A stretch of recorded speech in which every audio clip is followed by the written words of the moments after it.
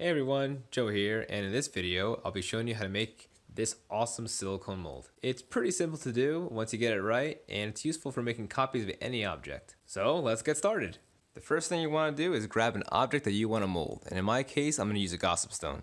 Whatever your object is, just make sure it has a flat bottom. Next, find something to mold it in.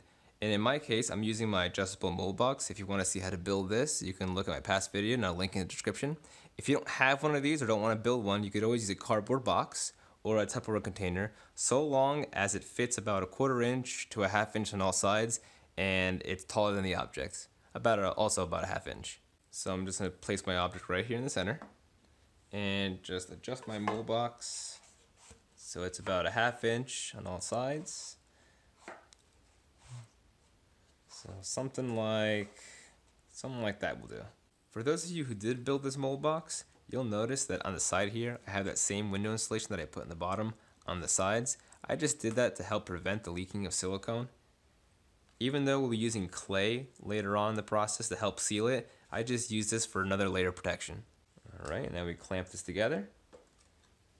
And if you're the one using the cardboard box or Tupperware, I guess the Tupperware doesn't really matter so much, but if you're using the cupboard box, if you have any corners that might look like it might leak, use some hot glue or model clay to seal it up. You'll see that in a second. Now before I pour the silicone in, I want to make sure that my mold box is sealed.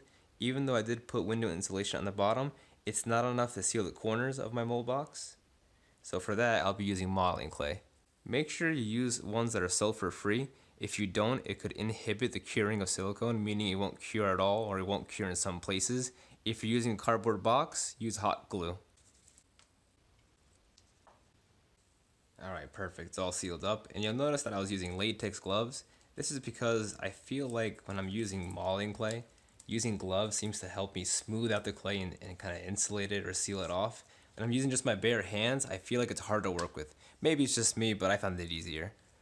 I'm going to be hot gluing my object to the bottom to make sure it doesn't float when I pour the silicone in. If your object's pretty heavy, you may not have to do this.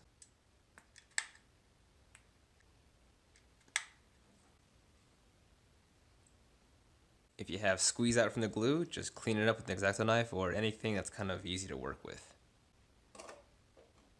Now the better of a seal you have in the bottom of the object, the less silicone will seep into it and you won't have to clean up as much later. But I probably should have glued more to the center just because cleaning out the glue on the outside is a lot harder than cleaning up the silicone after it's molded. So keep this in mind. Great, now we can finally begin pouring, but before we do that, we're gonna have to know how much silicone we gotta use up. So we'll have to measure the length and the width of the box. So here I have five and three quarter inches by five and a half inches. And the object's height is roughly three inches. So I'll have to do about three and a half inches.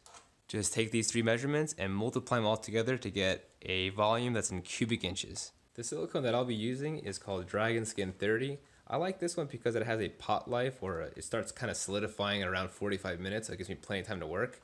I also use another one called Mold Star 15 from the same company, Smooth On. These are my go-to silicones. You can also use whatever you want, but this is the one I suggest. And to use this is pretty simple. You just gotta mix equal parts of part A and part B, stir it together, pour in the mold box, and wait for it to dry. For my mixing container, I'll be using these popcorn buckets. You can use a plastic bucket, but these are pretty cheap and inexpensive, and they also have this wax lining so no silicone leaks out easily. Now before I mix in the silicone parts A and part B into each bucket here, I'm going to be pre-measuring these out. So for my mold box, I get about 111 cubic inches, which translates to about 62 fluid ounces, and to measure them out, I'll be using this measuring cup. And since I have 62 fluid ounces to go, since this is one part A and one part B, I need half to go in here and half to go in there, which means I need about 31 fluid ounces of part A in here and 31 fluid ounces of part B in here. Now you don't have to put in the part A and part B into your measuring cup. You can use a placeholder and the best thing that I found so far is some rice. So just measure it out and placehold it in. That's about 31 fluid ounces of rice. Mark the height and repeat for the other bucket. And once you have two of them marked, you might want to just remeasure it just to make sure they're at the same height because for rice it tends to clump up if you don't have it totally level. You could use water too, but it's very hard to get these completely dry to not ruin the silicone. So I just suggest using rice and double check with the ruler. And before you use this stuff, you want to make sure to stir well before using. So just open it up, cut it open, and pre-stir. About a minute is fine. And once pre-stirred, just fill it up to your mark. And once you have both parts A and B in separate containers, just take one and mix with the other. When you do this, make sure you get everything on the side wall to be inside the bucket here because if you don't have them together with equal parts, your silicone may not cure. Once they're together, just make sure you stir about a minute. I'm a little uh, crazy with it. I go five minutes because I really want to make sure this is totally mixed up. Okay, I've been mixing for about five minutes. I could pour it in right now, but to make sure that I really got all the stuff scraped off the bottom and the sides of this bucket, I'm going to pour into a second bucket and mix again. All right, perfect. Now before pouring, you do want to make sure you hit the lowest level in your mold box. You don't want to pour over the object. It's not gonna give you an even consistency inside the mold. It might make air bubbles or voids. And when you do pour, try to pour high up. By making a long thin stream, you'll be able to siphon out those air bubbles so you'll get a nice clean and consistent silicone mold. Now it looks like I made a little bit of an error for calculation. I probably undermeasured and I also do have some silicone stuck to the bucket, but that's okay. I'm gonna be making this work the lazy way. And this is a good lesson. Always be more generous than you think you need to be with your silicone. So the idea is I'm gonna take something else that'll actually displace the silicone upwards, just so it's enough to cover the object.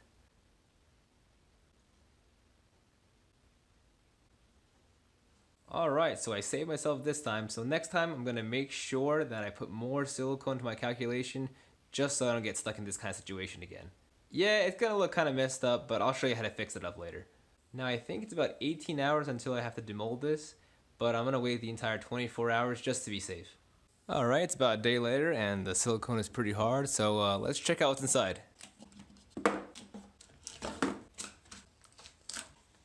And uh, yeah, it looks pretty weird see if I can get this undone here. All right. There's that clay under underside. And uh, there's the part. Now I think what I'm gonna do next is try to cut out the silicone that leaked underneath here just so the object has some movement to get free. And if you notice, right over here, some of the object fell off or actually stuck to the hot glue and stayed on the table. This is because this gossip stone was 3D printed and I kind of expected that, but if you got a pretty solid object that's made of metal or plastic and it's not 3D printed or it's not deformable, it'll definitely be okay with hot glue.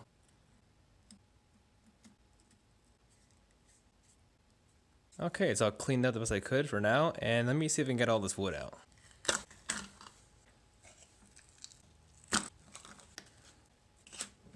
Alright, and this is how it looks with no wood in it. Before I start trying to take away this gossip stone from the mold, I would like to cut this down to size just so it's easier to work with.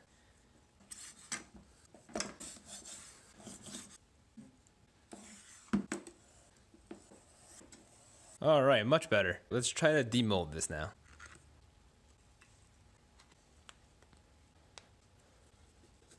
Cool. Looks like it worked pretty well, and if you look inside, you can see the detail was still maintained. One thing to note that my gossip stone had a, kind of a sprayed on stony texture to it, so it did come off a little bit during the demolding process. You'll notice that in the mold, you'll see little black bits. You could avoid this by buying this, um, it's kind of like a, weird like gel paste kind of thing. You brush it onto your object and it'll actually seal up all of these little bits here. And that's okay, it, it works for smoothing it out and demolding it, but you might lose some detail, which is why I didn't use it for my mold. This was a little bit of a challenge to demold, but that's okay for me. But if you want a relatively painless process, you could use a release agent.